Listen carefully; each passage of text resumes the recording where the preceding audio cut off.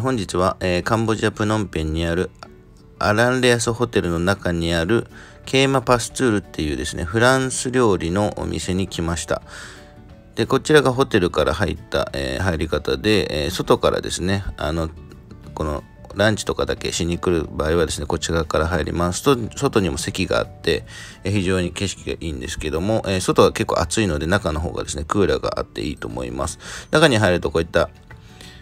あのスイーツですね、が置いてあったりとか、まあ、パンとかもですね、これで並んでます。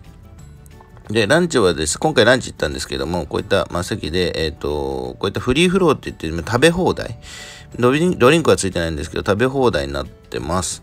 で、えー、最初ね、注文すると、まあ、パンが出てきてですね、こういったスープだったりとか、これほうれん草のスープですね。まあ、こういったものが出たりとか、テリーヌが出たりとか、まあ、いろんなものを結構あのいろんな種類頼んだんですけど、まあ、全部食べ放題です。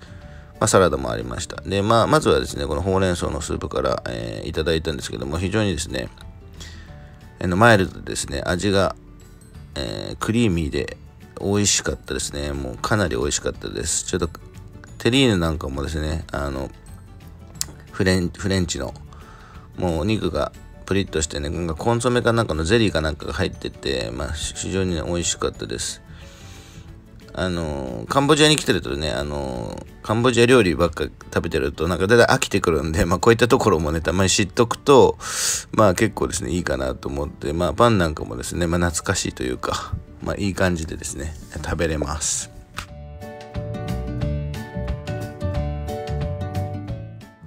で、えまあ、様々なですね、チョイスは可能です。まあ、同じものを2回頼んでも全然 OK だと思います,、まあ、思いますので、人数結構いるといろんなものが食べれていいんじゃないかなと思います。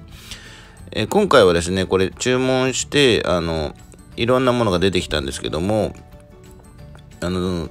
新しくその後に行った時は、あの、カウンターのところにこういうのがですね、あの、食べ放題で並んでて、自分で取るスタイルだったんですよね。で、そこに出てないものだけ注文してくださいみたいな感じだったんで、まあちょっと曜日によるのかわかんないですけど、まあそういったパターンの時もあります。その時はですね、自分で取りに行って、で、足りない分、まあ出てない分だけは、え注文を受けますよっていう感じの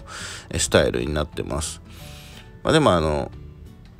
なんかそれまでですね、あの、こんないい店があると思ってなかったので、非常にですね、新鮮で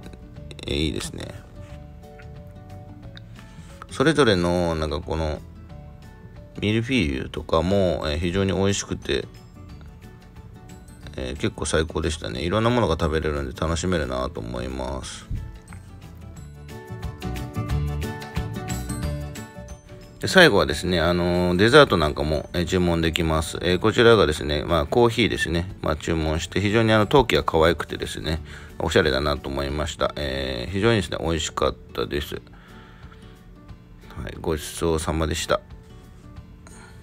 まあ、こちらがですね、注文しなかったあのスイーツですね。もう会計は1人、えー、大体18ドルぐらいでしたね。これ5人分です。